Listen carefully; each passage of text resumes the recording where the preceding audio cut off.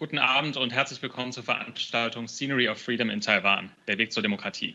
Mein Name ist David Demes, ich bin Doktorand am Institut für Soziologie der National Tsinghua University in Taiwan und schreibe als freier Journalist unter anderem für die Berliner Wochenzeitung Jungle World und verschiedene taiwanische Medien.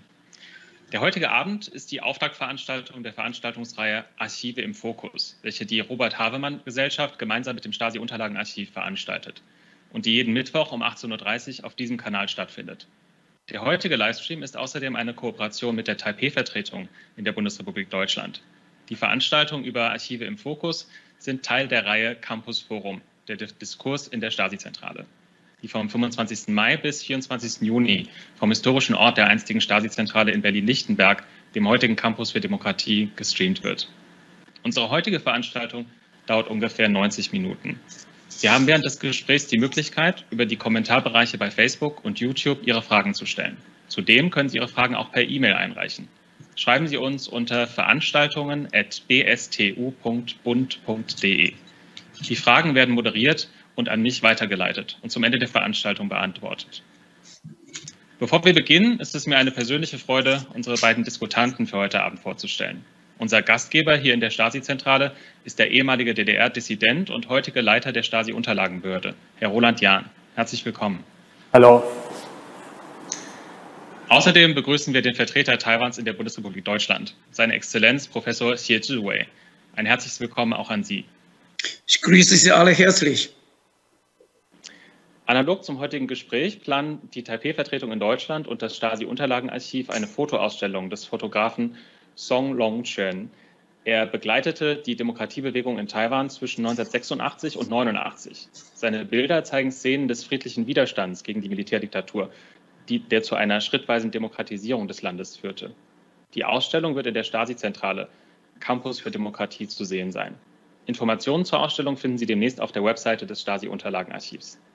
Als nächstes möchte ich für alle, die sich vielleicht mit Taiwans Geschichte nicht so, nicht so ganz vertraut sind, eine kurze Einführung in die schrittweise Demokratisierung des Landes geben.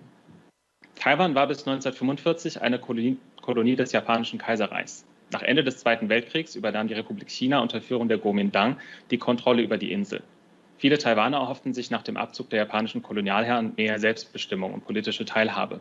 Die Hebel der Macht sowohl in Politik als auch in der Wirtschaft waren aber fest in den Händen der chinesischen Neuankömmlinge unter Führung der Kuomintang oder KMT. Sie müssen wissen, die KMT befand sich zu diesem Zeitpunkt in einem heftigen Bürgerkrieg mit den Kommunisten Mao Zedongs. Taiwans Landwirtschaft und Industrie mussten sich den Kriegsanstrengungen in China komplett unterordnen. Die daraus resultierende Mangelwirtschaft und Arbeitslosigkeit, gepaart mit weit verbreiteter Korruption und einem Mangel an Disziplin unter den chinesischen Soldaten, führten zu vielen gesellschaftlichen Konflikten. Im Februar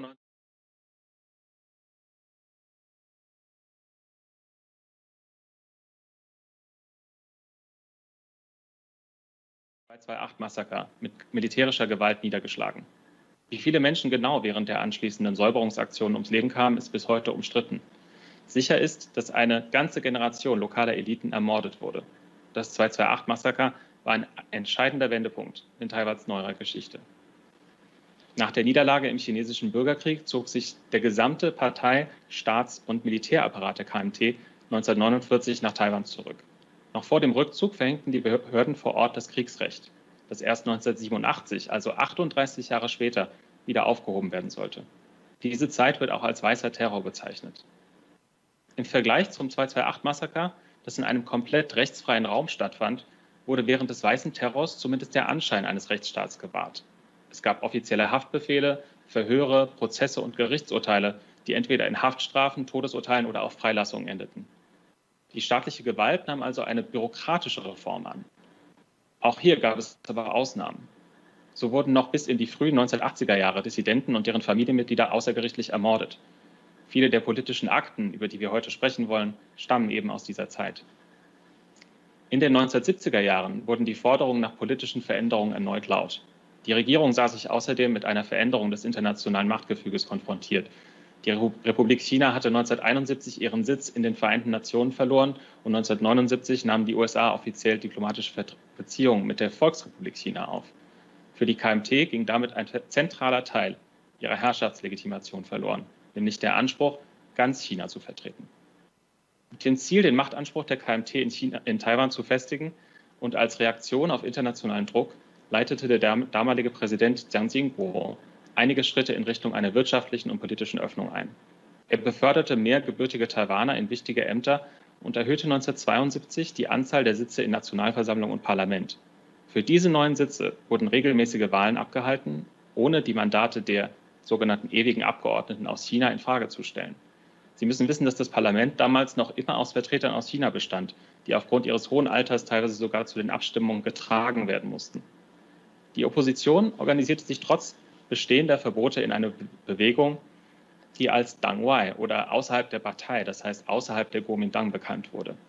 Ein wichtiges Mittel der Organisation waren oppositionelle Publikationen wie die Magazine Free China, The Intellectual und später auch Formosa.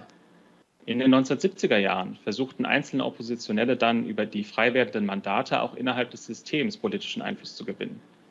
Nachdem bekannt wurde, dass die USA der Republik China die offizielle diplomatische Anerkennung entziehen würden, ließ Jiang Jingguo die Wahlen allerdings kurzfristig stoppen, was für großen Unmut in der Opposition sorgte. Die Folge war der Kaohsiung-Zwischenfall, bei dem eine von Redaktionsmitgliedern des Magazins Formosa am 10.12.1979, dem Tag der Menschenrechte, organisierte Versammlung eskalierte. In den nächsten Wochen ging der Staat mit erneuter Härte gegen die Opposition vor und nahm mehr als 150 Personen ins Visier. Den verhafteten Dissidenten wurde vor einem Militärgericht öffentlichkeitswirksam der Prozess gemacht. Es war das Ende der öffentlichen Demonstration der Dangwai-Bewegung. Während der 1980er Jahre wurden die Rede- und Versammlungsfreiheit durch die KMT weiter unterdrückt. Trotzdem schafften es Umwelt- und Arbeitergruppen, immer wieder zu demonstrieren und hielten so die Opposition am Leben, obwohl viele der prominenten Anführer weiter in Haft waren. Es waren vor allem Frauen, viele von ihnen Ehefrauen inhaftierter Dissidenten, die sich für politische Ämter aufstellen ließen und den Protest so weiter in die Parlamente trugen. Im Jahr 1986, also noch während das Parteienverbot in Kraft war, gründeten Mitglieder der Dangwai-Bewegung schließlich die Demokratische Fortschrittspartei, DPP. Ein Jahr später hob äh, Jiang Jingguo das Kriegsrecht auf und die politische Liberalisierung des Landes setzte ein. Nach Jiangs Tod im Jahr 1988 wurde mit Li Denghui erstmals ein gebürtiger Taiwaner Präsident. Zwei Jahre später wurde Li durch die Nationalversammlung im Amt bestätigt. Am Tag seiner Amtsübernahme begnadigte er die Opfer des Kaohsiung-Zwischenfalls. Liebe förderte die Desinifizierung der Bildung und der staatlichen Behörden und stärkte so die taiwanische Identität. Auch als Reaktion auf die Studentenproteste der wilden Linienbewegung 1990 änderte er die Verfassung und schickte die alten Abgeordneten des Parlaments und der Nationalversammlung in den Ruhestand. So machte er den Weg für Taiwans erste freie Parlamentswahlen im Jahr 1992 frei. 1995 entschuldigte er sich in seiner Funktion als Präsident der Republik China offiziell bei den Opfern des 228-Massakers. 1996 wurde Li dann in der ersten freien Direktwahl des Präsidenten im Amt bestätigt. Die Zeit von 1990 bis 1996 wird als entscheidend für die Ausbildung demokratischer Institutionen in Taiwan betrachtet. Im Laufe mehrerer friedlicher Machtwechsel zwischen KMT und DPP konnte sich die Demokratie in Taiwan seit 2000 weiter festigen. Der erste volle Machtwechsel, ausgedrückt sowohl im Amt des Präsidenten als auch in einer, Mehr in einer Mehrheit im Parlament, ließ aber bis 2016 auf sich warten. Erst durch dieses eindeutige Mandat der Bevölkerung war es der Regierung und Präsidentin Tsai Ing-wen möglich, in den letzten Jahren größere Schritte im Bereich der Vergangenheitsbewältigung zu wagen. Das Komitee für die Abwicklung unrechtmäßig angeeigneten Parteivermögens, die Transitional Justice Commission und das Nationale Menschenrechtsmuseum arbeiten seit 2016 bzw. 2018 daran, Taiwans autoritäre Vergangenheit systematisch aufzuarbeiten. Bis heute gibt es dagegen aber große Widerstände, sowohl in der KMT als auch in den staatlichen Institutionen, die bis vor etwa 30 Jahren selbst auch in den weißen Terror verstrickt waren. So, das ist, war äh, sozusagen der Überblick über Taiwans äh, Geschichte der Demokratisierung. Und um das Ganze ein bisschen anschaulicher zu machen, äh, dachte ich, wir fragen vielleicht erstmal Herrn Professor Xie, ähm, ob er uns ein paar Erfahrungen aus Taiwan, aus dem Taiwan der 1970er Jahre, dem Kriegsrecht, äh, mit uns teilen kann. Wie er zum Beispiel den Kaohsiung-Zwischenfall erlebt hat, was er für Erinnerungen daran hat.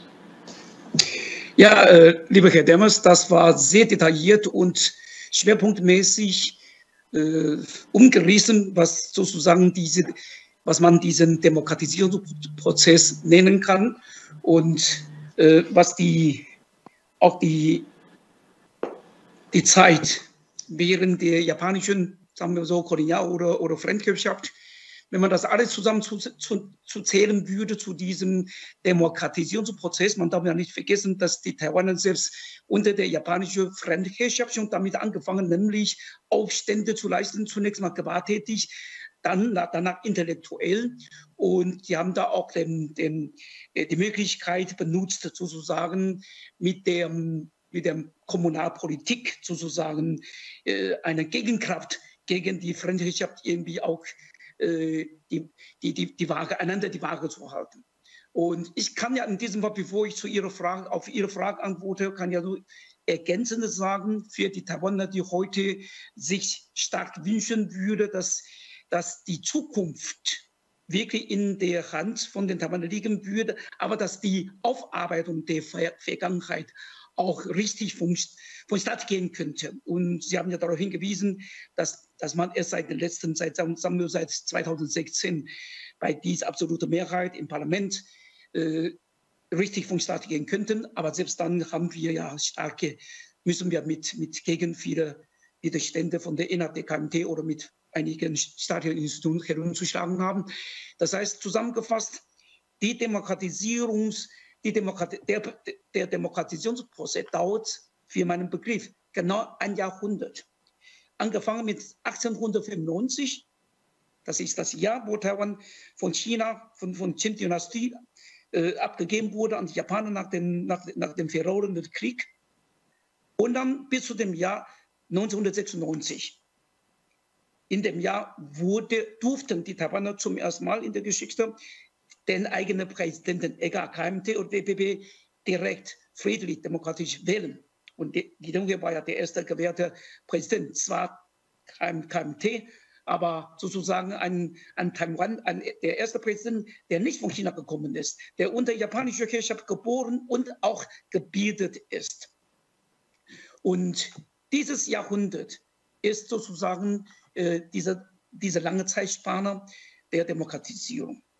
Und was diese, was die, die, die, die Jahre, die ich selber erlebt habe, die Jahre des Ausnahmezustandes oder Kriegsrechts, äh, muss, ja, ich muss mich schämen zu sagen, dass ich sozusagen äh, als ein Kind, dessen Vater von China von Kanton, von Kanton 1949 gekommen ist mit einer Mutter, die ja unter japanischer Zeit geboren und aufgewachsen ist. Ich sage nicht gebildet.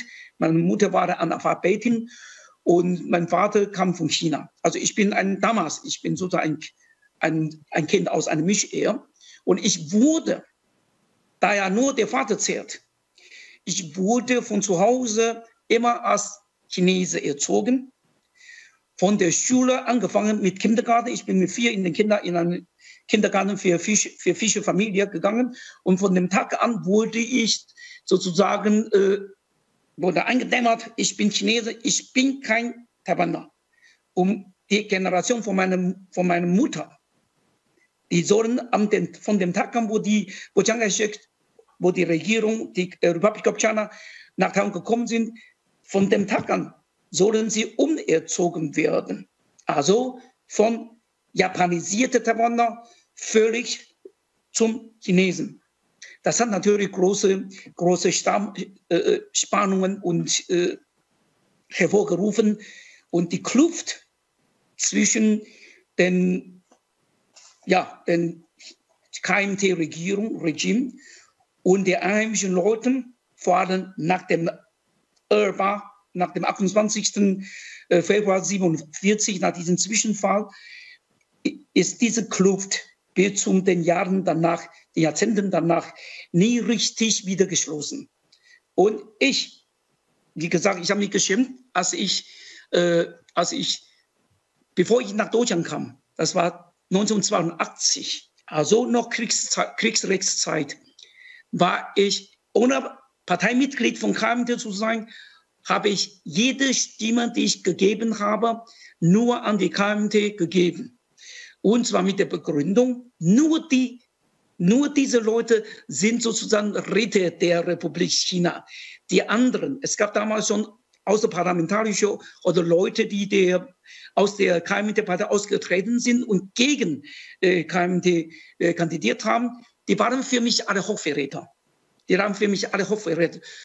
Und in der Schule, in, an der Universität, ist mir zwar ein paar Mal aufgefallen, dass während der Mittagspause hin und wieder äh, Studenten, auch von meiner, von, meinem, von, von meiner Klasse, von meiner Abteilung, die haben eine Versammlung für sich. Das war keine studentische äh, Versammlung, sondern Parteimitgliederversammlung äh, innerhalb des Universitätscampus.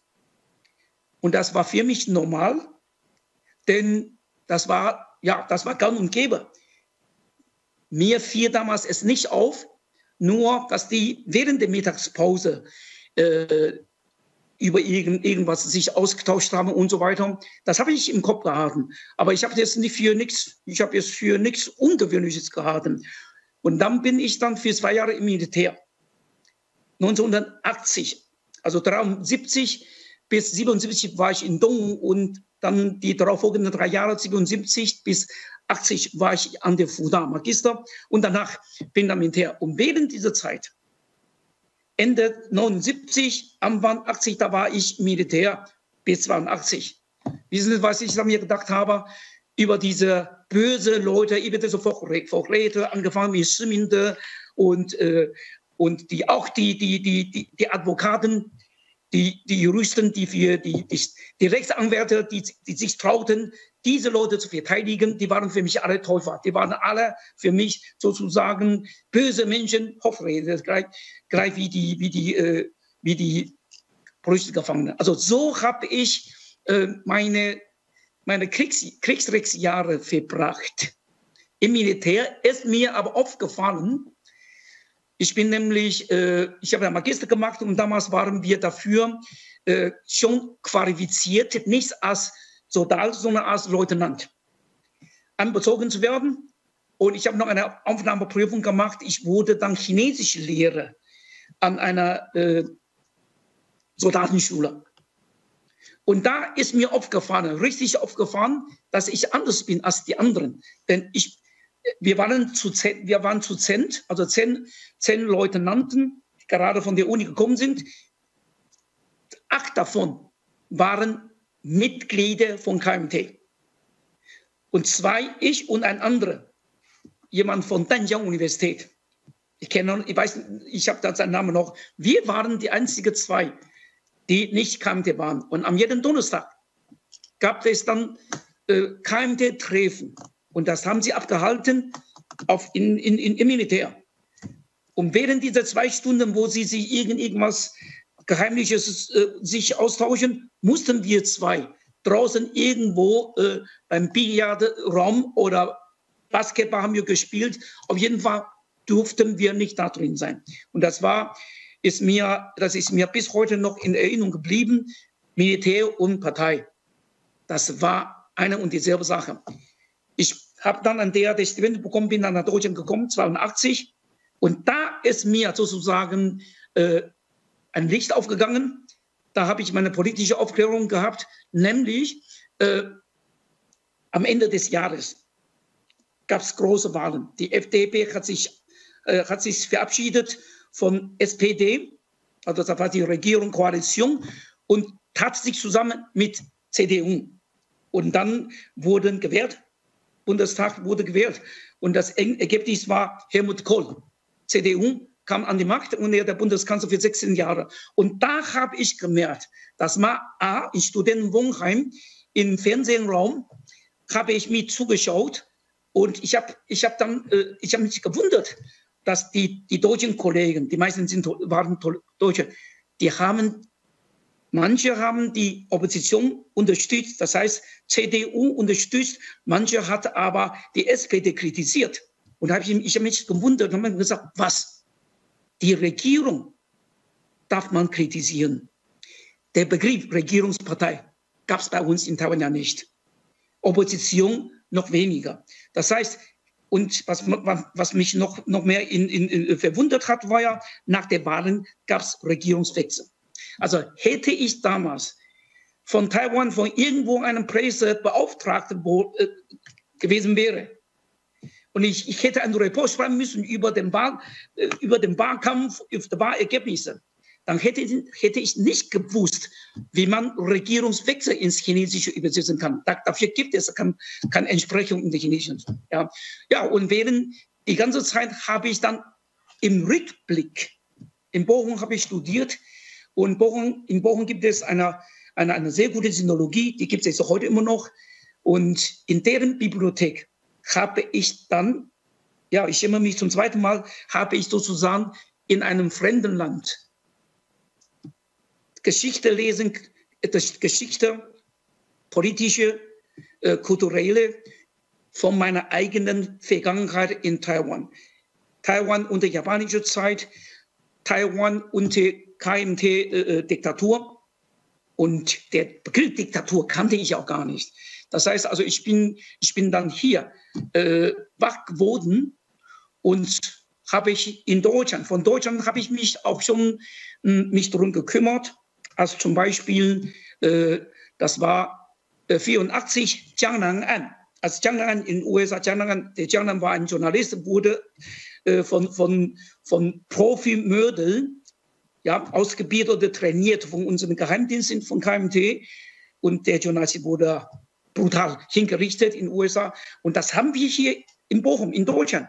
Da haben wir einige taiwanische Studenten, äh, haben wir das besprochen. Und ich habe hier in Taiwan auch das erste Mal Leute von Taiwan Tongxianghui, ja, also Taiwan Heimatsverein, äh, habe ich die auch kennengelernt. Alle sehr liebe Leute. Und ich hätte, wenn ich nicht nach Deutschland gekommen bin, dann habe ich mir gedacht, das sind alle, das sind alle Krimi, das sind alle äh, Hochverräter aber die sind lieb.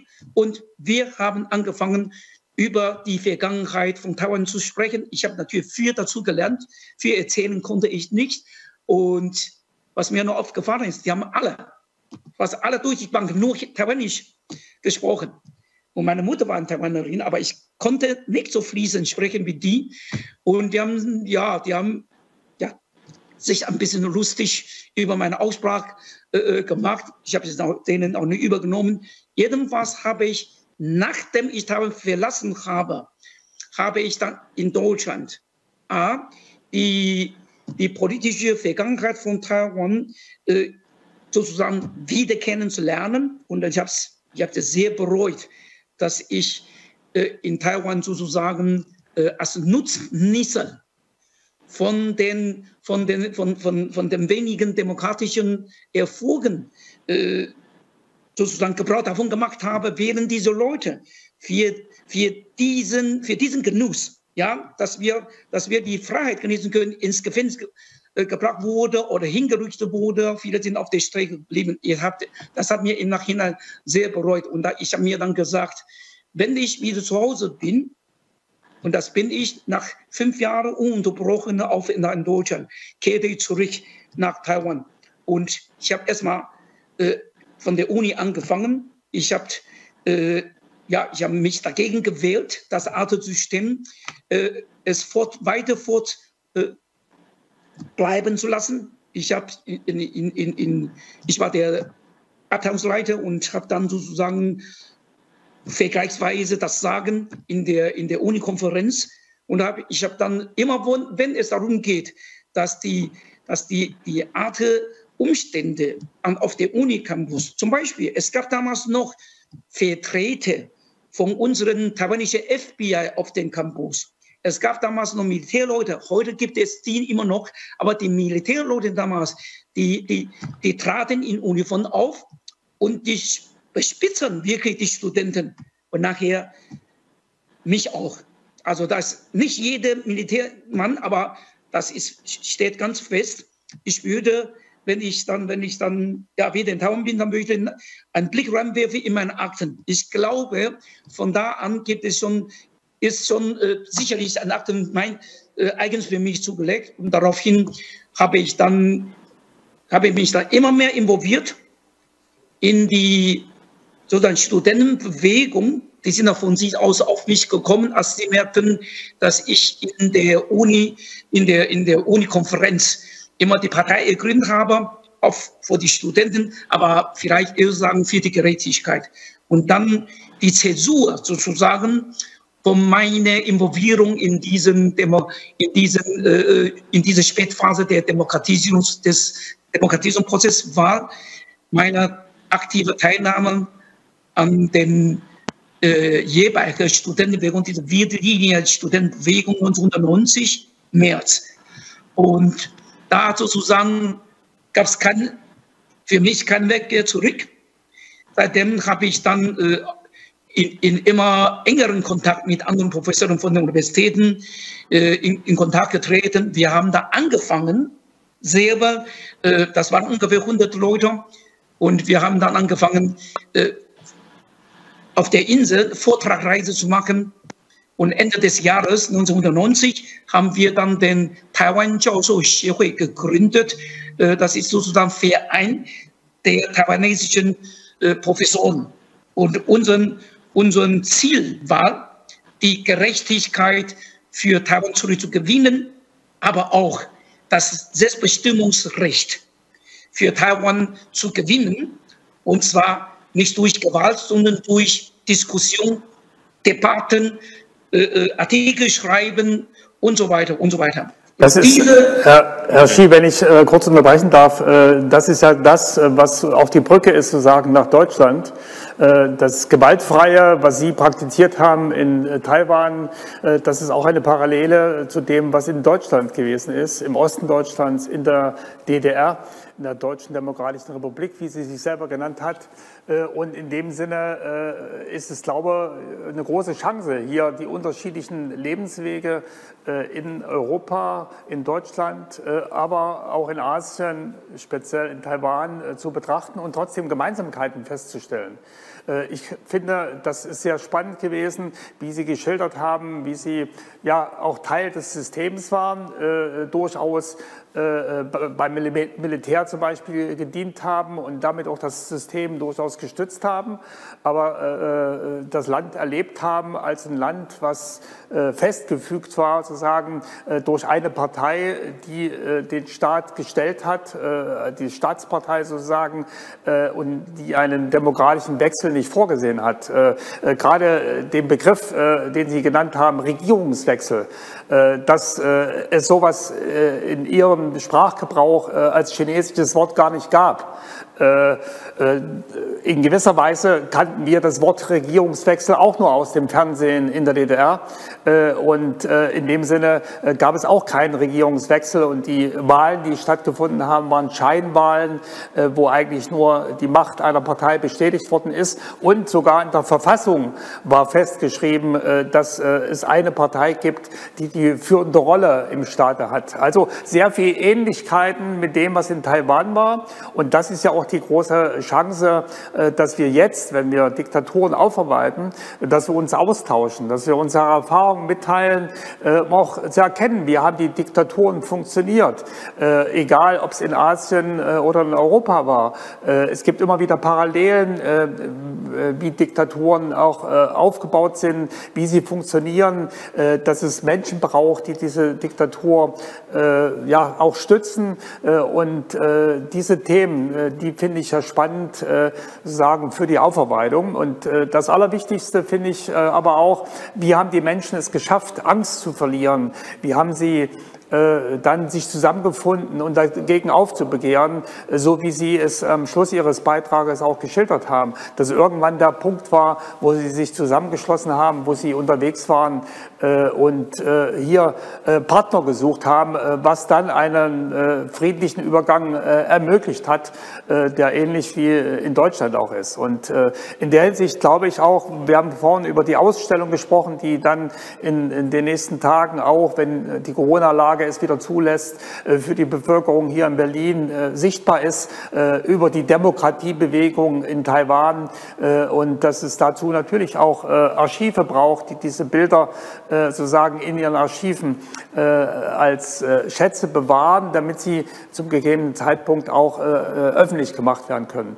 Und das ist das Spannende. Und ich weiß nicht, Herr Demis, Sie haben ja natürlich beide Blicke, den deutschen Blick und den Blick in Taiwan Sie sagen, äh, in der Hinsicht haben Sie bestimmt auch noch verschiedene Fragen an uns beide, was dann besonders interessiert, auch für die Öffentlichkeit.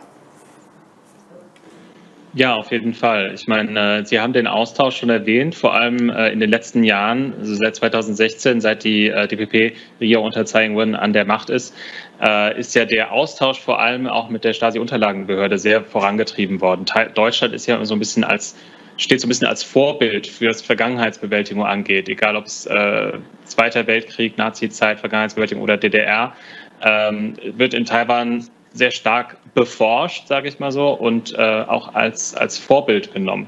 Äh, mich würde interessieren, wie Sie dieses, äh, diesen Austausch in den letzten Jahren vorangetrieben haben und was Sie persönlich auch am Fall Taiwan so äh, bewegt, Herr Jahn. Äh, also ich war erstmal erschrocken eigentlich, wie wenig über Taiwan ich weiß. Äh, und äh, weil wir natürlich die Diskussion um äh, China und die dominierende Rolle der Volksrepublik China sozusagen in Asien, aber auch als wirtschaftliche Weltmacht immer wieder in Deutschland wahrnehmen, aber Taiwan doch im öffentlichen Bewusstsein gar nicht so da ist. Und das hat mich selber erschrocken. Und gerade weil auch in meiner Funktion dann die Taipei-Vertretung an uns herangetreten ist, äh, und mehr wissen wollte über unsere Arbeit. Und dann der erste Besuch der äh, neuen Kulturministerin, äh, die nach dem Regierungswechsel in Taiwan 2016 dann ins Amt kam und dann gleich einen Besuch hier bei uns wahrgenommen hat, wo sie sich informiert hat über unsere Aufarbeitung der Diktatur in Deutschland und hier sehr gut vorbereitet, sehr informiert zu uns kam und ganz konkret konkrete Fragen gestellt hat. Wie haben Sie das gemacht, äh, dass in Deutschland äh, die Akten äh, zur Verfügung stehen für die Aufarbeitung? Und das war ein spannender Austausch, weil wir konnten natürlich erzählen von der friedlichen Revolution in Deutschland, in der DDR, dass die mutigen Bürgerinnen und Bürger sogar die Dienststellen der Geheimpolizei besetzt haben und dass sie die Akten gesichert haben und dass die Aktensicherung, wenn man so will, wie im Kriminalfall die Spurensicherung äh, äh, eines der wichtigsten Dinge ist äh, für die Aufarbeitung. Denn wenn die Spuren nicht mehr da sind, ähm, dann äh, ja, äh, glauben die Menschen gar nicht, äh, die nächsten Generationen gar nicht, was eigentlich geschehen ist. man, man muss ja so sagen, das, was man auch wahrgenommen hat, das, was man erzählen will, den nächsten Generationen, das muss man ja auch belegen, das muss man beweisen, weil es ja so viel passiert, was man sich gar nicht vorstellen kann im menschlichen Überlegungen. Und deswegen ist es wichtig, dass man auch Dokumente hat und dass man auch in den Dokumenten natürlich auch sehen kann, wie das System, wie die Herrschaftsmechanismen funktioniert haben und äh, auch wer äh, Verantwortung getragen hat. Es geht ja auch darum, äh, dass immer wieder deutlich wird, es sind Menschen, die dafür sorgen, dass Unrecht geschieht. Es ist keine Naturgewalt, die da über uns gekommen ist in Deutschland, sondern die Mauer haben Menschen gebaut, den Schießbefehl an der Mauer haben Menschen erfüllt und Menschen haben Menschen ins Gefängnis gesperrt, weil sie ihre Meinung gesagt haben. Und das sind natürlich Dinge, die es auch äh, zu benennen gilt. Wer trägt Verantwortung für das, was an Unrecht geschehen? Und vor allen Dingen, äh, wie gehen wir mit den Opfern um? Wie äh, können wir für Gerechtigkeit sorgen? Wie können wir den Opfern gerecht werden? Wie können wir dafür sorgen, dass Opfer rehabilitiert werden, dass sie Wiedergutmachung erfahren? Auch wenn das nicht absolut möglich ist, aber dass sie zumindest eine Wertschätzung bekommen, dass die Opfer gewürdigt werden, dass man auch einen kleinen materiellen Ausgleich schafft, gerade auch äh, äh, für die, die äh, nicht auf die Füße wiedergekommen sind, auch in der neuen Gesellschaft nicht, die heute immer noch an den Folgen der Haft leiden. Das sind ja alles Fragen, die wir sozusagen in Deutschland behandelt haben und die für die taiwanesische Delegation um die Kulturministerin sehr, sehr wichtig war. Und das sind Punkte, wo ich glaube, wo auch wir mit ganz konkreten Erfahrungen beigetragen haben. Zum Beispiel, dass die Akten äh, äh, sagen, nach rechtsstaatlichen Prinzipien zugänglich gemacht werden müssen. Dass nicht jeder einfach seine Akte kriegen kann, sondern dass es gilt, äh, sagen, äh, die betroffenen Menschen zu schützen, äh, über die die Geheimpolizei Informationen gesammelt hat, aber auch die offen zu legen, Transparenz zu schaffen, die den Staat vertreten haben, die sagen Verantwortung getragen haben. Ne?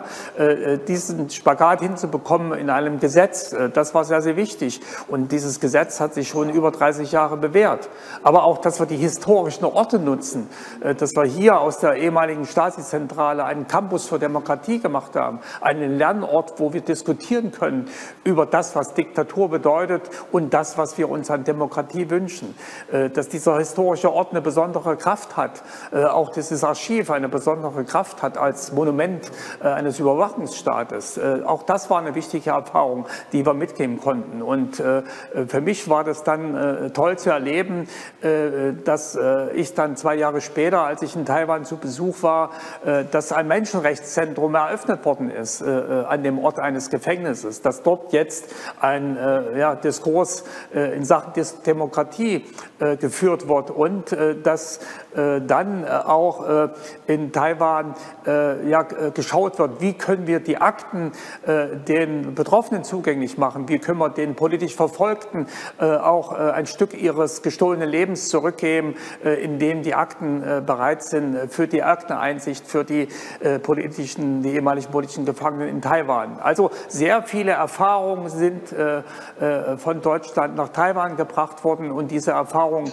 wurden auch genutzt und wir wiederum profitieren jetzt von den taiwanesischen Erfahrungen der Art des Umgangs miteinander und auch der Hoffnung, sozusagen auch, was Taiwan sozusagen in Asien, dieses Hoffnungszeichen, was in Asien durch Taiwan und die demokratische Gesellschaft gesetzt wird. Das, denke ich, ist auch, auch ganz, ganz wichtig, dass das sozusagen in die Welt hineingesendet wird, nämlich, dass es immer wieder um Menschenrechte geht, damals wie heute, aber auch in Deutschland und auch in der Welt insgesamt.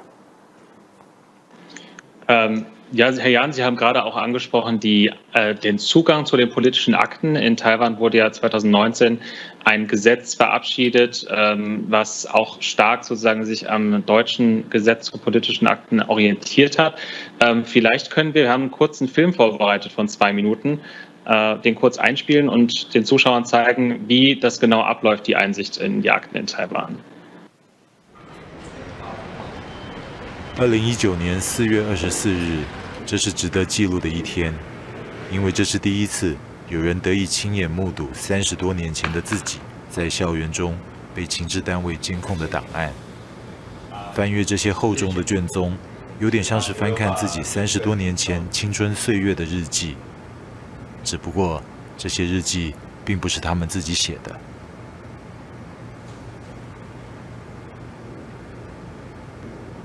你可以从档案中看见自己曾经在几年几月几日下午几点和谁在哪个冰果室吃冰。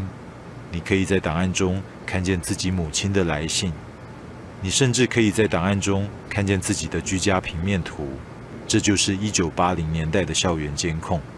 五零年代起，政府以各种形式对各大专院校师生进行绵密监控，内容包括求学、服役、就业等日常生活。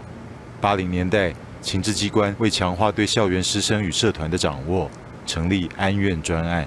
在你身边，听你说什么，看你做什么，包括哪一些人在聚会，在这个聚会里面谈了哪些事情，甚至细到我们的分工，都在这个报告里面。一直被监视，电话被录音。我们的辅导长或者是征战官。他清楚的记录我在什么时候、什么时候说过的些什么话。我在电话里拿起来的时候，就可以听到那个录音机的声音嘛。他已经告诉你我在录音了。那个监控是无所不在的，而影响到你的很多的一些日常的这些生活。阅读这些不是自己写的青春岁月日记，他们将会第一次得知，当年是哪个同学、哪个好朋友、哪个老师。甚至哪个邻居成为告密者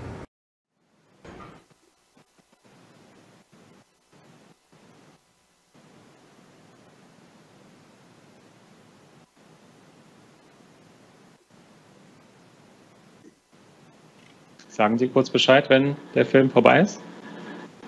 Also, äh, das war ein spannender Film, fand ich, äh, weil er mich erinnert hat an die ersten Akteneinsichten auch in Deutschland.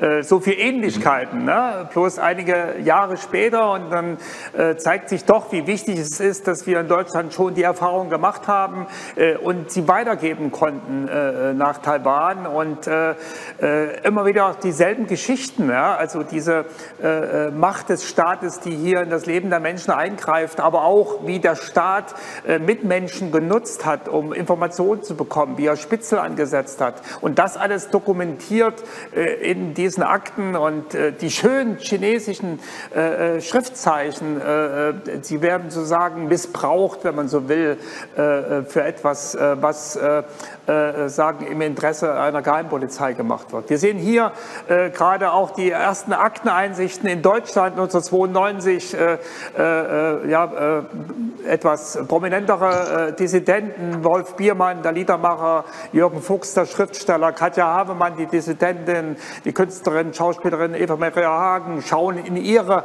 Akten zur ersten Akteneinsicht 1992. Äh, das sind ähnliche Bilder wie in Taiwan. Äh, und auch sie waren erstaunt, erschrocken, äh, all das, was sie in den Akten gefunden haben, aber es war am Ende immer ein Gewinn, dass sie erkannt haben, wie hat hier die Geheimpolizei auch in wessen Auftrag, nämlich der Staatspartei SED, eingegriffen in das Leben. Äh, und äh, das ist so Sachen, die Parallelen, die wir sehen, bei allen Unterschieden, die natürlich sind in Taiwan und in, Deutschland. Äh, es ist immer auch hilfreich zu sehen, wo gibt es Parallelen, wo können wir uns gegenseitig helfen, auch bei der Aufarbeitung der Diktaturen. Ja, vielleicht dazu, zu dem äh, Einblick in die Akten. Sie haben, also Herr Jahn hat äh, eben angesprochen, dass die Täter benannt werden müssen und dass das ganz wichtig war in der ehemaligen DDR. Das Problem haben wir in Taiwan gerade, dass äh, zwar das Gesetz, was 2019 verabschiedet wurde, eigentlich vorsieht, dass Täter genannt werden sollen und auch Spitzel benannt werden sollen, aber dass die Geheimdienste und äh, die, äh, die äh, Kriminalpolizei hier immer noch sozusagen die schützende Hand über die Täter hält aus nationalen Sicherheitsgründen. Ähm, was können Sie da zum Beispiel, was, also Herr Professor Chier, was glauben Sie, äh, wie kann man dagegen weiter vorgehen und, und irgendwie versuchen, dass Taiwan aus dieser, aus dieser Schleife herauskommt, aus dieser Zeitschleife irgendwie und äh, sich gegen die Institution durchsetzen kann? Ja, sich aus der Schleife halten oder bei manchen Leuten vielleicht den Kopf aus der Schlinge ziehen. Äh, Deutschland war in dieser Hinsicht, was Aufarbeitung, Aufarbeitung der Vergangenheit anbelangt oder, für, oder, oder äh, Vergangenheitsbewältigung, war ja immer ein Vorbild für die Taiwaner seit Jahrzehnten. Und wir haben immer eine Scheibe von denen abgeschnitten. Dennoch haben wir wirklich Ermutigendes erlebt, gelernt. An einigen Beispielen haben wir dennoch, können wir es nicht umhin, doch uns frustriert zu hören zu fühlen. Wissen Sie warum?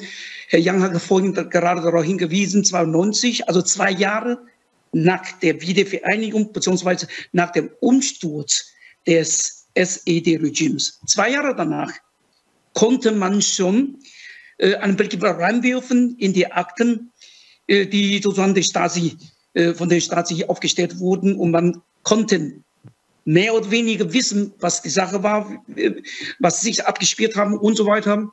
Und wer das sozusagen aus den engsten Kreis, Freundeskreisen äh, äh, einem bespießert hat. Taiwan, in Taiwan wurde ja das Kriegsrecht erst 87 aufgehoben. 87 aufgehoben. Das ist schon eine lange Zeit entfernt erstmal von Erba 1947. Und erst vor zwei Jahren kann man in Taiwan richtig losgehen mit der Aufarbeitung der Vergangenheit. Das heißt, dazwischen liegen, dazwischen liegen fast 60 Jahre von Erba, über 70 Jahren. Und auch von, von, von, von, von den letzten Jahren während der, während der Kriegs, Kriegsjahre da sind wieder, wir, wir haben jetzt 22, äh, 21. Da liegen inzwischen wieder fast 30 Jahre. Und länger als 30 Jahre liegen dazwischen. Und das heißt, es gibt zwei, es gibt zwei Gruppierungen von Leuten, die sozusagen über die die, äh, die, die Stasi von Taiwan, von KMT, äh, Akten gelegt haben. Einmal waren die Leute, die vor, dem, vor der Aufhebung des Kriegsrechts. Und einmal waren die Leute, die nach 87 bis, ich würde sagen, bis 2000. Denn bis dahin konnte man überhaupt nicht von, von, von, von, von auch ein, nicht mal von einem Semi-Regierungswechsel reden. Das ist einmal das. Und die Akten, die Dokumente, viele sind vernichtet worden, versteckt worden. Oder, äh, Herr Demmers, Sie haben selber vorhin darauf hingewiesen, dass selbst viele äh, staatliche Institution, Institutionen oder viele Leute, die damals für das Regime gearbeitet haben, ich kann die nicht nennen, aber die haben sozusagen jetzt immer noch eine schützende Hand ja, über, über die Wahrheit oder über die Vergangenheit gehalten. Und wir, wir haben keine, keine, richtige, keine richtige Handhabe, sozusagen dieses, diese dicke Brite zu bohren. Wie stark und wie langsam wir da auch bohren. Und das ist das Problem. Aber ja. angefangen. Vielleicht äh, kann Herr Jahn dazu noch äh, ja, einen klar. Rat sogar geben. Also ich meine, äh, äh Deutschland hat ja auch lange gekämpft. Was, da was heißt ein zum Rat? Beispiel auch, dass äh, das Namen von IMs äh, äh, veröffentlicht werden können. Ja gut, in der Presse zum Beispiel. Ich glaube, ich glaube dass, dass wir natürlich andere Voraussetzungen hatten. aber das ist auch großes Engagement von Bürgerinnen und Bürgern gewesen. Also die Besetzungen, die 1989, 90 stattgefunden haben, war ja erst ein Anfang. Dann hat es auch fast zwei Jahre gedauert, bis äh, das Stasi-Unterlagengesetz in Kraft getreten ist. Da gab es viel Streit. Äh, es gab viele äh, in der Politik und auch dann im einheitlichen Deutschland, die Bundesregierung, der Bundeskanzler Kohl, der Innenminister Schäuble, sie wollten damals die Akten geschlossen halten, weil es menschenrechtswidrig gesammelte Informationen waren. Sie wollten sagen nicht, dass das Gift der Stasi weiterwirkt. Und in der, dieser Hinsicht gab es auch viele andere andere, die äh, gesagt haben, hier muss äh, ein Deckel drauf, äh, weil äh, äh, man nicht immer äh, sagen, sich erinnern sollte und das Geschehene sozusagen immer wieder hochkommen lassen sollte. Nicht immer mit der Vergangenheit beschäftigen, sondern einfach mal dran denken, was für Herausforderungen gerade in der Wirtschaft ein Neuaufbau darstellt und dass man sich konzentriert auf die wirtschaftliche Entwicklung und nicht sozusagen immer in den alten Dingen rumrührt, die Konflikte immer wieder neu aufbrechen. Und es waren doch auch sehr zäher Prozess, bis wir in Deutschland dahin gekommen sind, äh, dass ohne Aufarbeitung äh, äh, ja, eine Gesellschaft sich nicht erneuern kann. Dass es äh, wirklich so ist, dass dann die alten Konflikte unter der Decke gehalten werden, aber auch immer wieder aufbrechen. Ja, es geht darum, die Wunden zu heilen äh, und nicht äh, immer wieder zu sagen, dass die Wunde neu entsteht und die Gesellschaft sozusagen darunter leidet. Und das ist etwas, was wir, glaube ich, in Deutschland auch gesehen haben. Auch, dass Menschen wieder zueinander kommen, dass es möglich ist, dass Konflikte Konflikte der Vergangenheit bereinigt werden. Aber Voraussetzung ist Aufklärung. Ja, Barmherzigkeit führt nur über den bitteren Weg der Erkenntnis. Das hat mir ein Pfarrer mit auf den Weg gegeben, äh, der äh, damit deutlich machen wollte, äh, dass natürlich Menschen ja, davon geprägt sind, dass sie am Ende auch Versöhnung, möchten in der Gesellschaft, aber das Voraussetzung ist, dass man auch weiß, was ist an Unrecht geschehen, was waren die Ursachen des Unrechts und dass man sagen, sagen, auch äh, den Opfern äh, äh, etwas an die Hand gibt, dass sie sagen, ein, ein Teil der Gesellschaft wieder sein können und rehabilitiert werden. Also das ist die Voraussetzung, die in Deutschland dann geschaffen worden ist. Und wir haben jetzt schon ja, fast 30 Jahre Akteneinsicht. Ja? Über zwei Millionen Menschen haben in ihre Akten geschaut, in die Akten, die über sie angelegt worden sind, haben Rehabilitierung, Wiedergutmachen erfahren. Wir haben im öffentlichen Dienst sagen, auch dafür sorgen können, mithilfe der Akteneinsicht äh, durch äh, öffentliche Arbeitgeber, dass auch ehemalige Stasi-Mitarbeiter nicht sozusagen unerkannt in diese Demokratie gewandert sind und an führende Stellen gekommen sind. Und wir haben vor allen Dingen auch für Forschung und Medien diese Akten bereitgestellt und viele Dokumentationen sind entstanden, viele ja, äh, Artikel äh, oder auch Filme bis hin zu Spielfilmen, die auch ein großes Publikum erreichen und die dafür sorgen, dass auch ja, Empathie ermöglicht wird, damit auch die nächsten Generationen, diese, die diese Zeit gar nicht wahrgenommen haben, eine gewisse Ahnung von dem haben, was Diktatur für die Menschen bedeutet hat.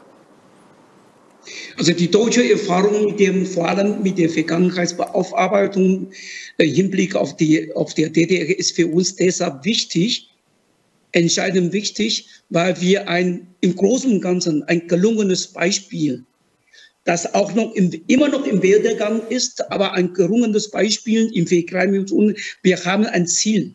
Wir haben dieses Ziel, dieses deutsche Ziel äh, vor uns und das trettet uns darüber hinweg, dass die Umstände, in denen wir jetzt uns befinden oder seit, seit der Aufhebung des Krieges immer noch befinden, dass wir wissen, und das ist der charakterisierende Unterschied zwischen der Vergangenheitsaufarbeitung von Deutschland und von Taiwan heutzutage. Die Vergangenheit ist immer noch gegenwärtig. Das macht den Unterschied. Und das macht einen manchmal traurig, verstimmt. Äh, ich kann mir nicht vorstellen, dass die SED, egal äh, was, da, was, wohin die Leute jetzt äh, äh, geflüchtet sind oder umgewandert sind, ich kann mir nicht vorstellen, dass die SED, es gibt ja die nicht, aber die zum Beispiel, dass diese, das alte Regime, das Unrechtsregime sozusagen in den Wahlen, in Bundestagswahlen sozusagen durch Wahlen wieder an die Macht kommen würde und die Regierung, äh, die Regierungspartei bilden würden. Das, das, das glaube ich, ist gänzlich äh, ausgeschlossen bei uns das aber ist, ja, das ist der, der, große Unterschied. Aber das gehört zur den Herr Jan auch schon angesprochen hat. Ja, das ist äh, sagen äh, auch äh, wichtig. Äh, das gehört zur Demokratie. Äh, die, äh, die Revolutionäre äh, von 89 in Deutschland haben ihre Peiniger mitbefreit. Die SED, die dann später in PDS umgenannt worden ist, in die, also die Sozialistische Einheitspartei Deutschlands, in die Partei des demokratischen Sozialismus und dann später sagen zusammengeschlossen zur Linkspartei. Das sind ja auch sozusagen ist die Partei, die Verantwortung trägt für das, was an Unrecht geschehen ist in in äh, der DDR. Und diese Partei ist natürlich herausgefordert, sich auch der Verantwortung zu stellen. Äh, auch die jungen Leute, die damals äh, da sagen oder jetzt da in dieser Partei sind und eigentlich diese Zeit nicht miterlebt haben. Aber genau darum geht es ja. Auch die SED muss ihre Akten zur Verfügung stellen, so wie in Taiwan die KMT, also die Kuomintang, die sozusagen Verantwortung für Unrecht getragen hat, auch ihre Akten zur Verfügung stellte sollte der Gesellschaft. Und auch hier kann man äh, vielleicht auch von Deutschland äh, durchaus Erfahrungen aufnehmen. Wir haben ja uns auch getroffen mit Vertretern äh, der KMT, auch hier in Deutschland, und haben erklärt, wie in Deutschland das gemacht wird, dass es eine Stiftung gegründet worden ist und die Partei dann ihre Akten eingebracht hat in die Stiftung und dann als Teil des Deutschen Bundesarchives diese Akten zur Verfügung stehen. In dem Sinne äh, wäre das auch eine Möglichkeit, dass in Taiwan hier Akten bereitgestellt werden. Aber das Wichtige ist ja, ähm, äh, man kann sich ja nicht die Menschen wegwünschen. Sie sind ja in dem Land weiter da. Man muss damit umgehen. Äh, man muss äh, sie als Teil einer demokratischen Gesellschaft akzeptieren. Natürlich mit der klaren Forderung, dass hier das Grundgesetz gilt, dass sie sich an die demokratischen Spielregeln zu halten haben. Aber wir sehen, in Deutschland stellt sich sogar ein Ministerpräsidenten in einem Bundesland. Also das zeichnet Demokratie aus, dass das möglich ist. Das zeichnet Demokratie aus, zu sagen, dass hier der Bürger frei entscheidet, äh, äh, aber äh, natürlich immer mit der Rahmensetzung einer demokratischen Grundordnung, in dem die Menschenrechte die Basis dafür sind. Da sind wir aber an einem sehr kritischen Punkt. Darf ich kurz? Ja. Darf ich jo, kurz unterbrechen? Also, äh, Sie haben beide angesprochen, wie, wie unterschiedlich die Fälle sind, also DDR und Taiwan. Es ist immer schwierig zu vergleichen. Aber wir haben eben in der DDR einen Staat, der sozusagen sich aufgelöst hat 1990. Und in Taiwan ist es eben nicht, es gab nicht so diesen harten Schnitt. Äh, und äh, was mich interessieren würde, wie Sie das beurteilen, wie man diese Erfolge auf dem, auf dem Bereich der, der Vergangenheitsbewältigung sicherstellen kann für die Zukunft. Also in Taiwan hatten wir das in der Vergangenheit, dass frühere Regierungen versucht haben, äh, Anläufe zu machen in der Vergangenheitsbewegung, die äh, Bewältigung, die dann von der nächsten Regierung, als die KMT wieder an die Macht kam, wieder zurückgeschraubt wurden. Also wie können wir sicherstellen, dass wir unsere Demokratie auch wehrhaft machen äh, gegen diese äh, ja, Rückschraubung der, der Vergangenheitsbewältigung. Also ich, ich, ein, ein, Satz dazu, äh, der mir sehr wichtig ist. Äh, jede Regierung äh, muss die Dinge so machen, dass sie sie nicht gegen den politischen Gegner macht, sondern dass sie sie so macht, als wenn sie in der Opposition wäre. Das heißt, auch das ist sozusagen Demokratie, die dafür sorgt, dass eine Rahmensetzung da ist, egal ob man in Opposition oder Regierung ist. Das, denke ich, ist ganz, ganz wichtig, weil wenn äh, sozusagen politische Maßnahmen äh, nur dazu da sind, den politischen Gegner, sei er auch, äh, dass er Verantwortung für Unrecht getragen hat, aber wenn sie nur dazu da sind, politische Gegner zu bekämpfen, dann werden sich diese Maßnahmen irgendwann mal gegen einen selbst richten.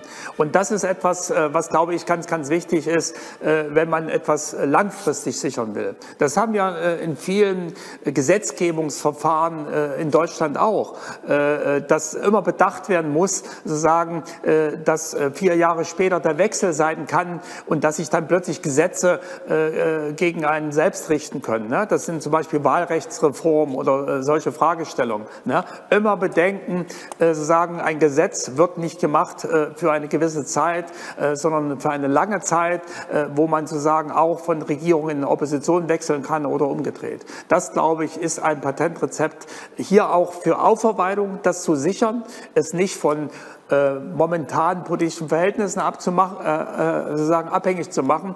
Und es ist in Deutschland durchaus eine gute Tradition, dass die Gesetze zur Rehabilitierung, dass die verabschiedet werden mit der Opposition gemeinsam, dass man äh, auch die, äh, äh den Bundesbeauftragten zum Beispiel wählt, gemeinsam äh, mit den Oppositionsparteien. Äh, das ist etwas, was auch dann eine Kraft gibt, sagen, für solche Funktionen getragen von einer breiten Mehrheit im, äh, im Parlament. Wir haben gerade in Deutschland äh, haben wir sozusagen eine Reform der Aufarbeitung auf den Weg gebracht. Die Stasi-Unterlagen werden Teil des Bundesarchives, also des Gedächtnisses der Nation. Und es wird ein Bundesbeauftragter für die Opfer der SED-Diktatur eingerichtet. Äh, und dieses Gesetz ist gemeinsam äh, von Regierung und Opposition äh, äh, verabschiedet worden. Nur eine Partei hat zu das nicht mitgetragen. Und so waren 80 Prozent zu des deutschen Parlaments, die diese Reform, für diese Reform gestimmt haben. Und das ist ein Ausdruck dafür, dass hier langfristig gedacht wird. Ich habe gestern, darf ich? Ja. Ich habe gestern im Internet eine Nachricht aus Korea, Südkorea gesehen da hat ein älterer Mann, ich glaube, der ist sicherlich schon über 70, ein Poli ehemaliger Polizist, gewalttätiger Polizist, der sozusagen die Crashdown-Aktion von der damaligen äh, Unrechtsregierung äh, unterstützt hat. Und der Mann hat in alle, ist in die Öffentlichkeit getreten, hat einen Blumenkranz äh, vor einem Grab gelegt. Ein Grab von einem der Opfern von diesem damaligen äh, äh, Unrechtsregime. Da habe ich mir gesagt, das hat mir die Tränen, wie ich das sah und was er gesagt hat, das hat mir die Tränen in die, Augen, in, in die Augen getrieben. Der, der, der Polizist, das war, das war ja auch mit Untertiteln, hat er gesagt, heute weiß er, dass er das, was er damals getan hat, eine Untat ist. Ihm tut es leid. Und daher kommt er. Er weiß, dass es auch sehr verspätet ist, aber er, trotzdem kommt er und seine Reue und seine Beichte und seine ja, Schuldigung sozusagen in aller Öffentlichkeit an den Tag zu legen. Das würde ich mir wünschen. Ich, ich, glaube, selbst die, selbst die, die, die, die Hinterlassenen von die, allen diesen Opfern, die würden sofort die würden sofort äh, diesen Polizisten oder diesen Spitzel, äh, diesen Geheimdienst, die würde ihn vergeben. Aber was wir in Taiwan leider haben, ist ja, äh, es ist bis jetzt noch nicht klar festgestellt worden, dass jene Taten, jene Übertaten, ausgestreckt, vollzogen von, von, von Geheimdiensten, von Polizei, von, äh, von Mördern, von der staatsangestellten dass das nicht nur illegal ist, das war auch moralisch zu verwerfen ist. Das ist nicht der Fall. Es wirte immer noch in einem, unter der Schwelle als, ja, Taten für das Vaterland. Das war eine Patrio, patriotische Taten.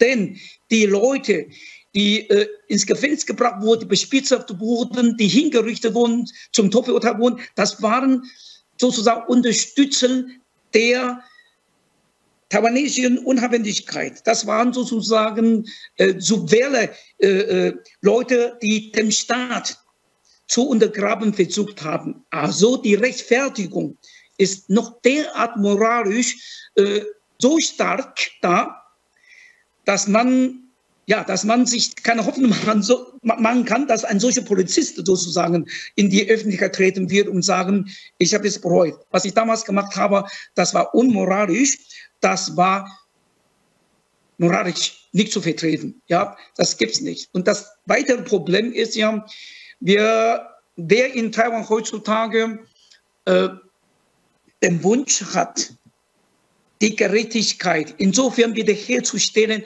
nicht damit die Täter bestraft werden, sondern damit die Opfer, die Hinterlassenen von den Opfern, sich sozusagen sagen kann, jetzt weiß ich, wer es mir angetan hat. Und jetzt weiß ich, wenn ich verzeihen kann, diese Übertaten, äh, nicht für sich selber, sondern auch für die Familie, für die, für die ermordeten Eltern oder Großeltern und so weiter.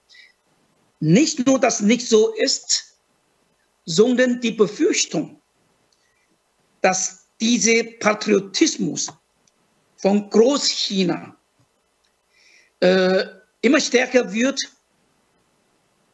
von, von, von, von China aus, aber auch von gewissen Leuten, ich würde nicht sagen fremde Leute, von gewissen Leuten aus, die, die würden, und das fürchte ich, die würden all das wiederholen mit gutem Gewissen, was die in diesen heute gemacht haben gegen die Leute, die entweder für ihre eigene Freiheit oder für ihr politisches Ideal nur was gesagt haben, was geschrieben haben.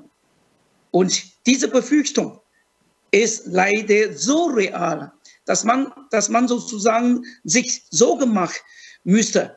Nicht, dass man, ob man es äh, äh, gewissen Erfolg äh, erlangen kann bei dieser äh, Aufarbeitung der Vergangenheit, sondern überhaupt den, der, das Thema, das, den Titel.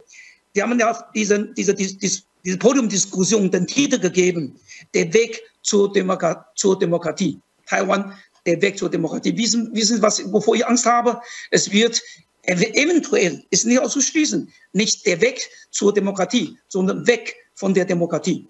Und diese Befürchtung ist real, wenn man bedenkt, was von China aus in den letzten, in den letzten Jahren, seit 2016, was dafür äh, für Maßnahmen ergriffen haben und wie, ja, wie sozusagen zwischen der Taiwanstraße geliebäugert wird, da macht man sich Sorgen. Äh, aber genau darum geht es ja, dass wir uns mit der Vergangenheit beschäftigen, weil wir natürlich deutlich machen wollen, äh, dass es Freiheit und Demokratie nicht Selbstverständliches ist, dass es äh, jeden Tag eine Herausforderung ist, äh, Demokratie zu schützen und zu leben und auch weiterzuentwickeln. Äh, das ist ja die Stärke der Demokratie, dass sie korrekturfähig ist und dass wir mit dem Blick in die Vergangenheit die Sinne schärfen für die Gegenwart. Und wenn wir jetzt hier auch nochmal uns erinnern an die, die Zeit in der DDR, es waren dann die, die Menschen, die sozusagen mit ihrem Bewusstsein für Selbstbestimmung dann aufgetreten aufgetreten sind, äh, dass sie sich ermächtigt haben, sozusagen äh, teilzuhaben an der Demokratie. Äh, und dass das aber wirklich ein Prozess gewesen ist, wo sie ja, äh, ganz bewusst äh, diese neuen Möglichkeiten genutzt haben. Sie haben sich ein Stück Freiheit genommen und das war das Entscheidende äh, damals. Äh, und äh, in dem Sinne gilt es auch heute, diese Freiheiten weiterzunehmen. Und in Berlin, das ist die Hauptstadt der, der Demonstration, wenn man so will, in Deutschland, finden ständig Demonstrationen statt. Und gerade die Herausforderungen der aktuellen Corona-Pandemie zeigen sozusagen, wie wichtig es ist, dass demokratische Grundregeln da sind, dass man auch gegen die Maßnahmen der Regierung protestieren kann, dass es halt wichtig ist, äh, dass der beste Weg äh, äh, sagen, der Gestaltung der Gesellschaft gesucht wird, gemeinsam in demokratischen Strukturen und dass, dass hier sozusagen die Regeln der Demokratie natürlich das ermöglichen, dass alle gehört werden, aber dass natürlich auch Entscheidungen getroffen werden müssen und Wege gegangen werden, die nicht jedem passen. Also Meinungsfreiheit heißt nicht, dass die eigene Meinung sozusagen dann am Ende sich durchsetzt, sondern Meinungsfreiheit heißt, dass es ein äh, Streit der Argumente gibt, welcher Weg äh, der geeignetste ist und dass äh, natürlich dann auch äh, Mehrheiten äh, äh, am Ende entscheiden und aber Demokratie auch immer wieder auf dem Prüfstand ist, weil die Demokratie ist so gut, wie die Mehrheit mit der Minderheit umgeht. Ja, liebe Herr Jan, Sie haben da gerade dieses ein, ein ja, okay,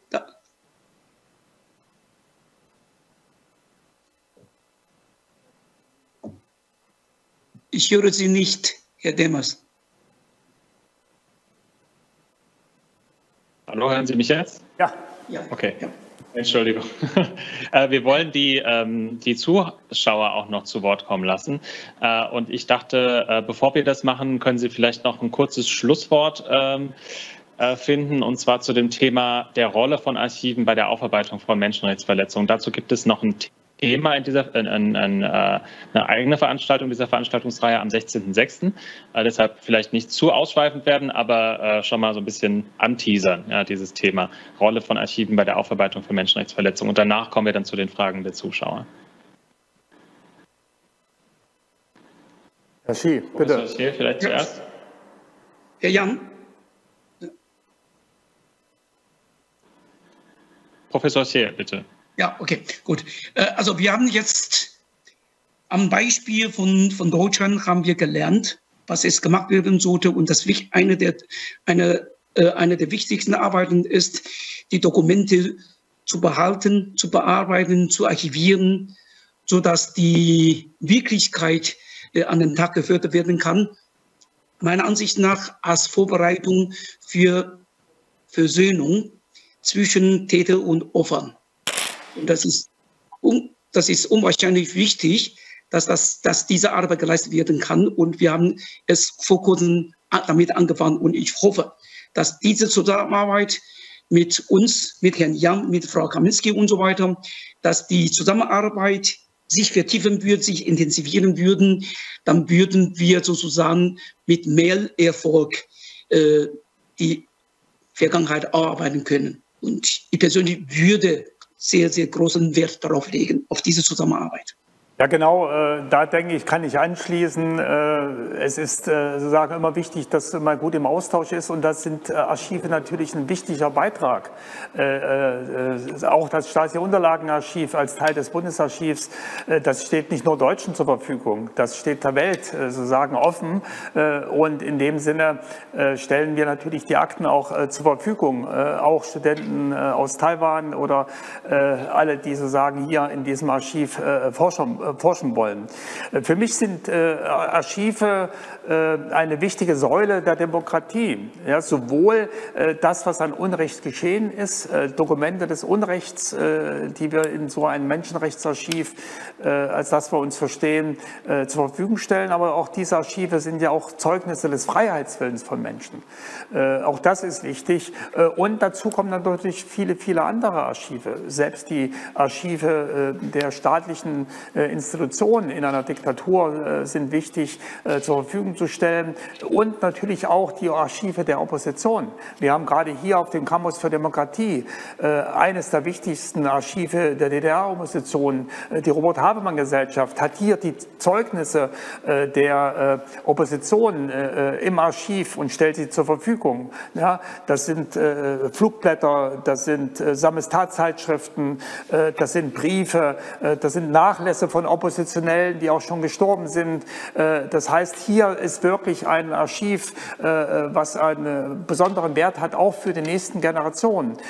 Und in dem Sinne werden wir dann auch immer sowohl bei uns als auch in der Robert-Habemann-Gesellschaft kommen halt auch die ausländischen Gäste und informieren sich hier gerade über das, was sozusagen in den Archiven bereitgestellt wird. Was mir wichtig ist, ist bei Archiven auch immer, dass wir sozusagen äh, als eine Einrichtung fungieren, wo wir Wissen äh, bereitstellen, wo sich Wissen auch erarbeitet werden kann und dass wir nicht äh, hier ein Geschichtsbild vorgeben, dass wir keine Deutung von Geschichte vorgeben und den Menschen sagen, was sie zu denken haben, sondern dass sie mit Hilfe dieser Quellen arbeiten kann. Und natürlich müssen Quellen in Frage gestellt werden. Das, was hier in den Stasi-Akten zu lesen ist, das hat die Stasi aus ihrem Blickwinkel aufgeschrieben. Das ist der Blickwinkel einer Geheimpolizei. Äh, und so ist auch das Archiv der Opposition eine gewisse Gegenüberlieferung, äh, wo dann die Forscher natürlich abwägen müssen, äh, welchen Wert hat welche Quelle, wer hat was mit welchem Ziel aufgeschrieben. Das sind alles Fragen dann der Arbeit, der Erforschung der Gesellschaft mit Hilfe dieser Akten. Aber das Entscheidende ist, dass die Akten da sind, dass man darauf zurückgreifen kann, neben Zeitzeugen, neben anderen Quellen und hier da damit äh, auch möglich ist, äh, ganz gezielt äh, sozusagen die Vergangenheit zu erkunden, um halt auch Gegenwart zu gestalten. Vielen Dank für diese Wortmeldung. Wie gesagt, am 16.06. gibt es dazu eine eigene Veranstaltung genau zu diesem Thema. Wir hoffen, dass Sie da auch wieder dabei sind. Ähm, zu den Fragen der Zuschauer. Äh, wir haben eine Frage, die bezieht sich auf den Vertrag, der geschlossen wurde zwischen äh, der deutschen Seite und der taiwanischen Seite. Und zwar ähm, ich dachte, also der Zuschauer fragt, ich dachte dadurch, dass es leider keine diplomatische Beziehung zwischen Taiwan und Deutschland gibt, ist so etwas verboten. Wie ist es gelungen, so etwas möglich zu machen? Wie lief das genau ab und äh, welchen Personen verdanken wir diese, dieses positive Signal? Und was haben Sie in den letzten Jahren in dieser Kooperation so zustande gebracht? Ja, wir haben. Äh, ja, oder, ja, ja. Äh, ja, bitte, Herr Xi, bitte. Äh, erstens, Taiwan die tatsächlich, Taiwan pflegt tatsächlich keine diplomatische Beziehung mit Deutschland, so wird behauptet. Ich sage es aber immer, Taiwan äh, pflegt keine völkerrechtliche Beziehung mit Deutschland, aber diplomatische. Man kann darüber streiten, aber das ist meine Ansicht, denn in der Tat, also ich, das kann ja so laut sagen, ich habe freien Zugang zum Auswärtigen Amt. Nur natürlich der Heiko Maas als Außenminister, der wird mich nie empfangen, aber ich habe freien Zugang dahin, ich werde abgeholt, wenn man, wenn man äh, einen Termin vereinbart hat. Also es gibt doch diplomatische Zusammenarbeit, auch äh, wirtschaftliche enge Zusammenarbeit, kulturelle Zusammenarbeit und was zum Beispiel Themen wie Vergangenheitsausarbeitung, da, da stand und steht nichts im Wege. Es wird sogar auch vom Auswärtigen Amt äh, gefördert. Und aus dem Grund, das ist sozusagen humane Zusammenarbeit dem so nichts entgegenstehen. Auch äh, äh, politische Hindernisse darf es in diesem Mal nicht geben. Tabus gibt es hier nicht. Das war, äh, das war eigentlich klipp und klar für mich, der, der ich ja seit, seit fünf Jahren, das letzte Mal zwei Jahre hier in Deutschland äh, mit ja, mit der Bundesregierung, mit, mit Auswärtigen Amt, die ich auch zusammen, äh, ein bisschen zusammengearbeitet habe. Das war überhaupt kein Problem. Und natürlich muss ich hier noch Frau Kaminski und Herrn Jan danken. Ja. Äh, ja, also. Äh, ja, noch kurz zusammenfassen, was genau in der Kooperation äh, gemacht wurde?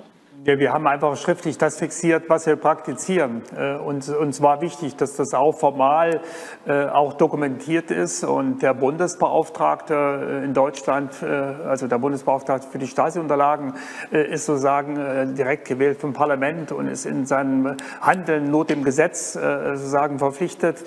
Und in dem Sinne war mir das auch ein persönliches Anliegen, zu sagen, wir wollen zusammenarbeiten mit dem Kulturministerium Präsidium in Taipei. Äh, wir wollen äh, klar und deutlich äh, diese Zusammenarbeit dokumentieren.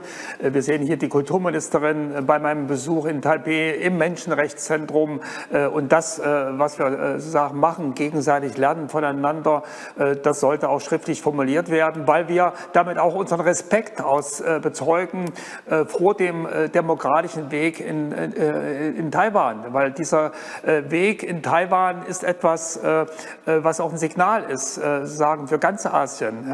Es ist eine demokratisch gewählte Regierung äh, in Taiwan. Dort gibt es demokratische Institutionen, die sagen, das Land prägen. Und das haben wir auch mit dieser Vereinbarung zum Ausdruck gebracht. Respekt vor der Demokratieentwicklung in Taiwan und auch Anerkennung, dass sie den Weg der Aufarbeitung der Diktatur in Taiwan zumindest begonnen haben, dass sie Schritt für Schritt vorankommen und dass wir weiter bereit sind, Sie dabei zu unterstützen.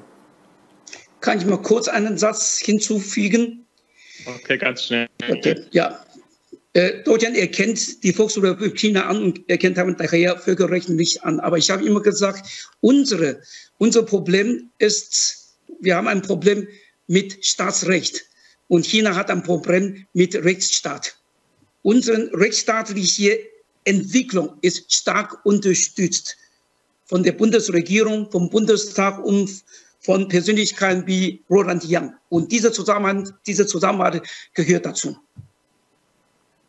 Genau, und es, braucht, und es braucht natürlich auch Unterstützung. Wir haben die äh, Vorsitzende des Kulturausschusses des Deutschen äh, Bundestags, äh, äh, Katrin Butte, äh, die das Ganze unterstützt hat. Äh, wir haben Klaus-Peter Wilsch sozusagen von der Bundestagsgruppe der TAP-Freunde, die das unterstützen. also hier bedarf es natürlich auch einiger Akteure in Deutschland, die unabhängig von Fragen der diplomatischen äh, und äh, ja, staatsrechtlichen Betrachtungen äh, hier aktiv sind, weil sie auch diesen Weg der äh, demokratischen Entwicklung äh, in äh, Taiwan äh, anerkennen wollen. Und ich glaube, da gibt es viele, viele andere Menschen auch in der Bundesrepublik Deutschland, die auch das, was in Taiwan gemacht wird, unterstützen.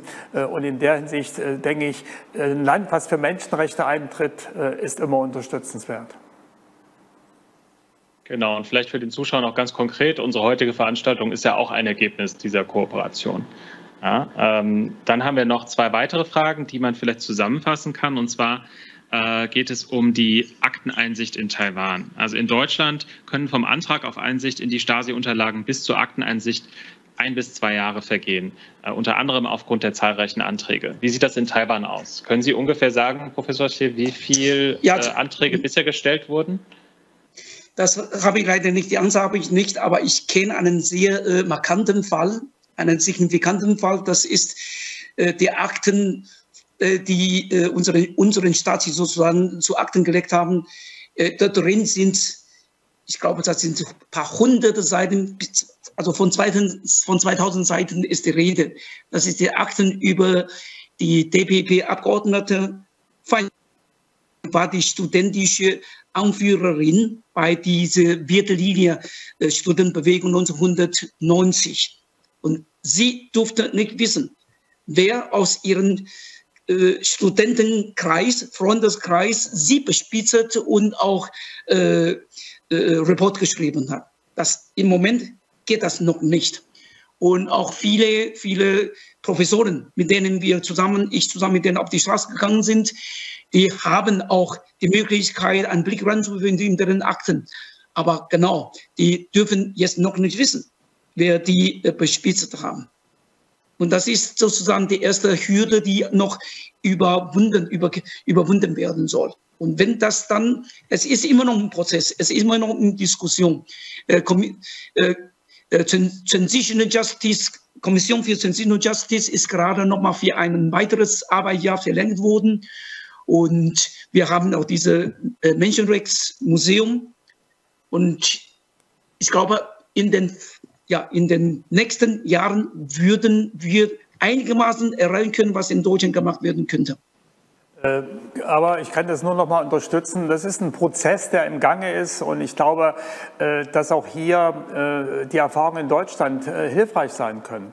Weil ja gerade die Angst davor, dass es gesellschaftliche Konflikte bringt, wenn man erfährt, wer einen bespitzelt hat, wer einen verraten hat, wer ihn vielleicht ins Gefängnis gebracht hat, das sind ja Erkenntnisse, die natürlich auch zu Auseinandersetzungen führen können. Aber genau in Deutschland haben wir festgestellt, dass Transparenz hier auch äh, ermöglicht, dass eine differenzierte Betrachtung stattfindet. Ein Spitzel ist halt nicht ein Spitzel. Ein inoffizieller Mitarbeiter der Geheimpolizei ist nicht dem anderen inoffiziellen Mitarbeiter gleich, äh, sondern es muss genau hingeschaut werden. Warum hat äh, jemand äh, sagen als Spitzel fungiert? Äh, hat er das aus ideologischer Überzeugung gemacht? Hat er das äh, gemacht, weil er Geld dafür gekriegt hat? Oder ist er vielleicht auch erpresst worden? In welchen Zwängen war er? auch das gibt es. Und das ist sozusagen hilfreich, wenn man aus den Akten erfährt, wer es war, wenn man äh, ihn auch zur Rede stellen kann, wenn man äh, im Gespräch hört, welche Zwänge gewesen sind und vielleicht sogar Verständnis dafür findet, äh, dass er sich so verhalten hat. Es gibt viele, viele Dinge in den Akten, aber auch in den Gesprächen, wo man mitkriegt, wie das System insgesamt funktioniert hat. Und für mich geht es weniger um Schuld als äh, mehr um Verantwortung, äh, die Menschen für das äh, tragen, was sie getan haben.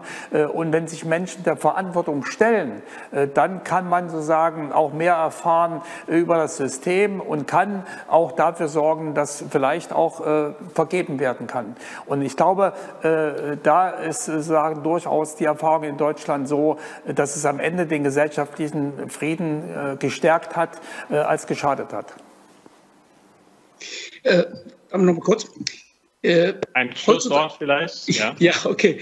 Äh, Heute ist man in Taiwan wenigstens mit der Aufarbeitung der, der Vergangenheit so weit vorgedrungen, dass man festgestellt hat, dass zum Beispiel während diese, dieses, ja, diese Jahre des White Terrors äh, von der KMT-Hauptquartieren äh, eine Überseeabteilung gegeben hat.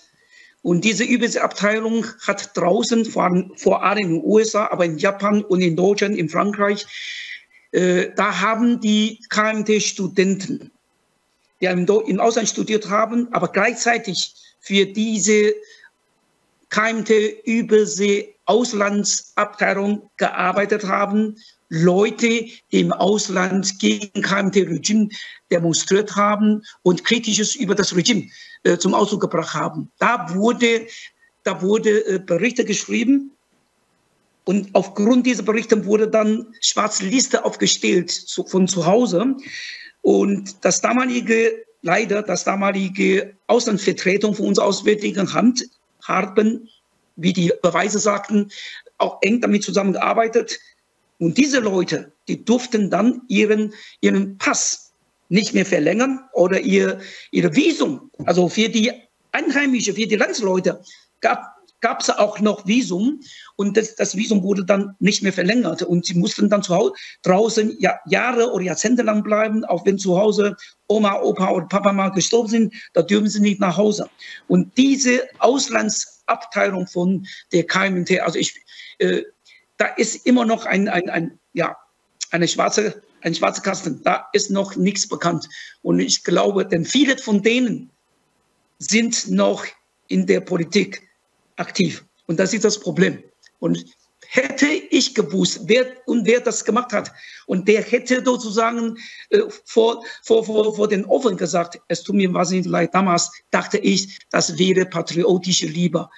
Ich gebe zu, das war nicht der Fall. Ich bitte um Entscheidung. Der wird offizieren. Hoffentlich kommt dieser Tag noch. Wir sind optimistisch.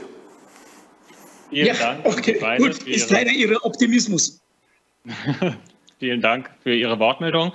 Wir haben heute gelernt, dass äh, eine differenzierte Betrachtung der Vergangenheit wichtig ist und dass Vergangenheitsbewältigung nicht nur auf Grundlage von tagespolitischen äh, Gründen äh, gegen den politischen Gegner durchgeführt werden kann.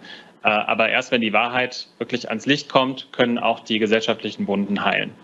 Ähm, an der nächsten Veranstaltung der Reihe Archive im Fokus können Sie am kommenden Mittwoch unter der gleichen Internetadresse teilnehmen.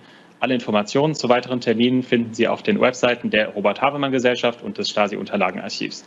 Morgen, am 27. Mai, geht es auf diesem Kanal um die gleiche Uhrzeit weiter mit einer Veranstaltung der Reihe Jugend in der Diktatur, und zwar mit dem Titel Too Much, Too Much Future, Punk Rock GDR 1980 till 1989. Dabei geht es um die Punk-Bewegung in der Deutschen Demokratischen Republik. Vielen Dank für Ihr Interesse und noch einen schönen Abend.